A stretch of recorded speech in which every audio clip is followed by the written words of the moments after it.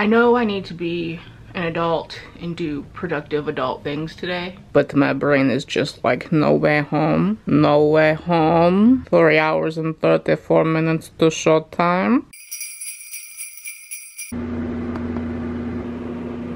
We're on our way to Spider-Man. Zoomity zoom. Zoom, zoom, zoom. Make my heart go boom, boom, boom. Three hours later. Just got out of Spider-Man. Danny, how you feel? Feel. No spoilers, but I'm screaming. Ah! It's also freezing, so. Fuck. Shit. Hey, Wisconsin. Hey, Wisconsin. So hi. If I look a mess, it's because I am a mess. All I'm going to say is that no Way Home was incredible. And there are two, this is for, there are two post-credit scenes and you absolutely need to stay for both of them. Particularly the second one has me in a chokehold. That's all I'm going to say on a non-spoiler level. It was just, it was amazing. It's like no wonder that Tom Holland and Zendaya are in love because you see it on screen so much. I am going to talk about some spoilers, but I'm going to save that for the very end of the video, so don't worry. I will let you know when it starts, and then you can just click off and not watch it until you've seen the movie or you feel like spoiling yourself. I don't know. So I think I'm going to try to read the Ex-Hex and maybe finish it if I can get myself in a state of emotions that it can handle more processing of media and things. I'll probably FaceTime Whitney because that's what I do. Maybe I'll play Animal Crossing first. Maybe that will help me just like, because I need to, okay. Just a couple of gamer girls playing their games. When I tell you I was bullied into doing this new boss battle and we're like losing so hard and I'm so stressed and I hate my life. Don't let a toon named Joseph bully you into doing the new field offices. They're not fun. I'm having a bad time. Just gamer girl things.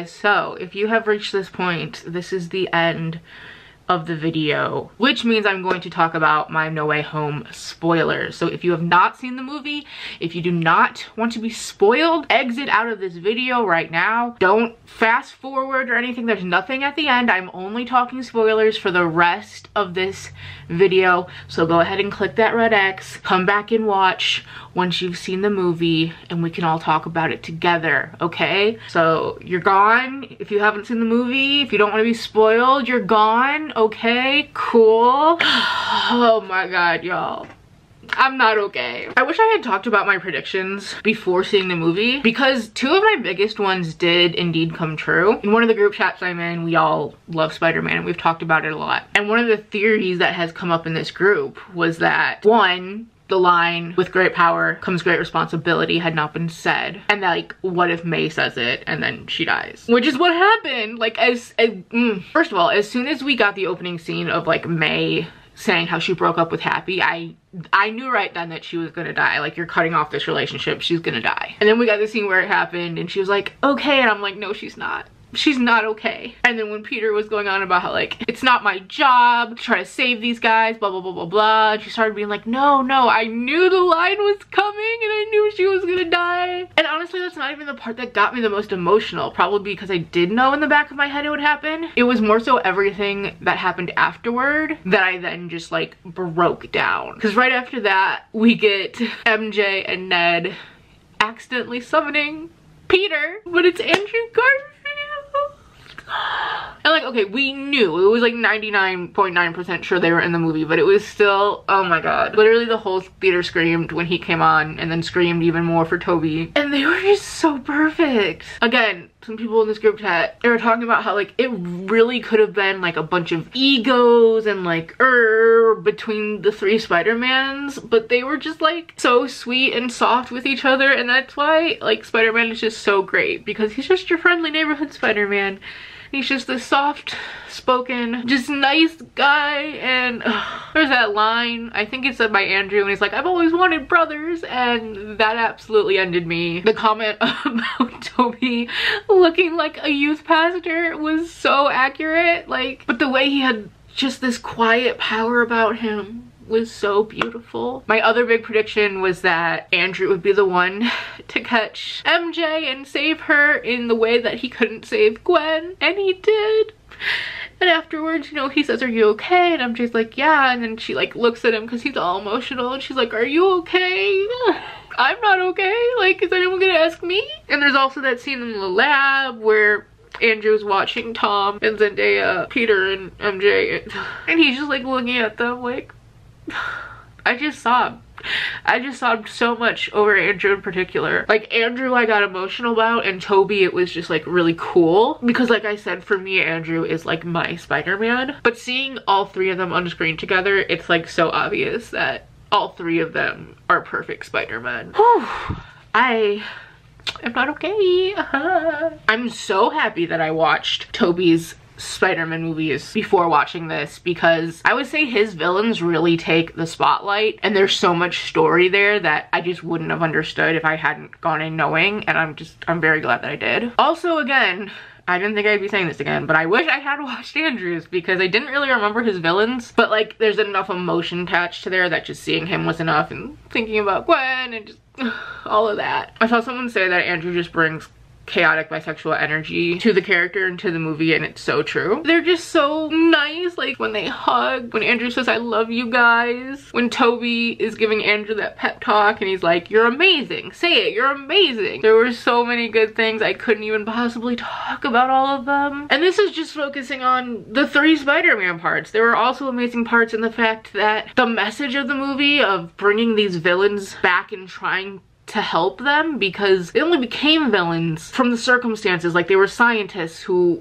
went a little too far with their experiments and it wasn't who they were. And people deserve a second chance. And oh my god, I'm gonna cry again. When Tom is facing off with Green Goblin and he's about to kill him, but then Tobey steps in and all they have to do is look at each other and they have that long look. It was just so good. It was so good. And in the end, where everyone forgets him, I definitely think he feels the most like the other Spider-Mans by the end because he's in an apartment in New York City on his own. He's not really gonna be like an Avenger anymore with the Stark industry behind him. He's just Peter, your neighborhood friendly Spider-Man, your friendly neighborhood Spider-Man. And I think they definitely did that because it's a very clean cutoff from the MCU, which from what we know, the next trilogy of Tom Holland Spider-Man movies are not going to be Marvel. They're just going to be Sony because of like contract stuff. I don't know what that means for like Zendaya's character, for Ned, because at the end of the movie, Peter kind of accepts that like they don't remember him and like they're okay. And he's just on his own and it's just I have no idea. I'm assuming he's going to figure out how to fix things with MJ and Ned and everybody. But like, I feel like they could also go in a different way of him not. I don't know. I don't know. I don't know. I can't even think of that right now. Ugh, I know there's definitely things I'm forgetting in terms of the movie itself. Like overall, I just loved it. I loved the Spider-Mans coming together. I'm sad that we're not gonna get that anymore because they were just so great together. Andrew was so funny. Tobey was just so iconic in his soft, powerful presence. And I just loved the relationship between the three of them. So then there were the post-credit scenes. The first one, I'm gonna be honest, I didn't care about because I haven't seen Venom. So I was just kind of like, okay. And the second post-credit scene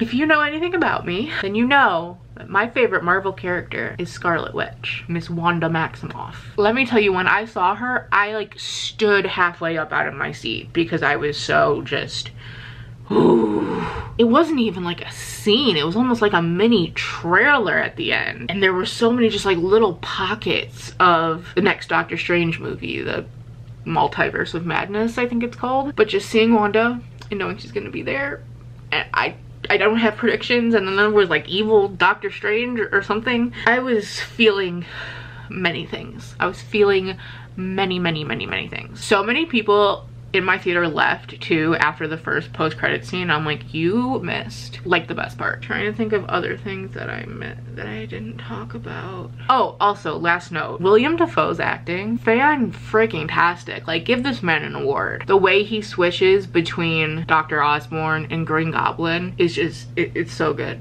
It's so good. And upon googling him he's from wisconsin? How did i not know that this icon is from my state my lands. I mean, not my lands, the, the Native American land that the white colonizers stole. But man, what a movie. I am going to feel the emotional impacts of that for a while. And honestly, I'm really wanting to watch like all the movies, but I may in particular watch Andrews just because I never got to them. I mean, I, I've seen them, but not since theaters. Okay, I think that's it. Thank you so much for watching this video. Let me know your Spider-Man thoughts, but like don't be spoilerish. If you want to be spoilerish, feel free to like shoot me a DM on Twitter. But otherwise, keep it generic in the comments. Okay, I'll see y'all tomorrow. Bye.